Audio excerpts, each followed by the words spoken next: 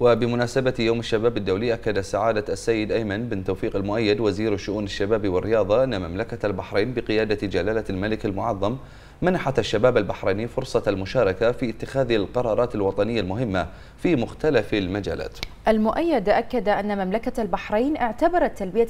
احتياجات الشباب أولوية في العمل الوطني بالإضافة إلى غرسها في نفوس الشباب قيم ومبادئ الابتكار وتحقيق الريادة والمساهمة في عملية التنمية بأفكارهم ومشروعاتهم. وقال سعادته إن مملكة البحرين تولي الشباب أهمية مضاعفة باعتبارهم القطاع الأكبر في المملكة والركيزة الأساسية للتنمية المستدامة. وصلت الاهتمام الواضح من قبل سمو ولي العهد رئيس مجلس الوزراء الذي منح الشباب رعاية خاصة اتضحت من خلال برنامج الحكومة والذي فتح المجال أمام الشباب لمشاركة حقيقية في مختلف قطاعات المملكة. مشيرا المؤيد إلى أهمية هذه المناسبة الدولية العالمية لتسليط الضوء على مسيرة الشباب وخاصة شباب البحرين الذين يحظون بدعم من قبل سمو الشيخ ناصر بن حماد الخليفة الحريص على تحفيز الإبداع لديهم نحو الابتكار والمبادرة وتوفير كل السبل والرعاية والعناية لقطاع الشباب من خلال دعم وتفعيل كل البرامج والأنشطة الشبابية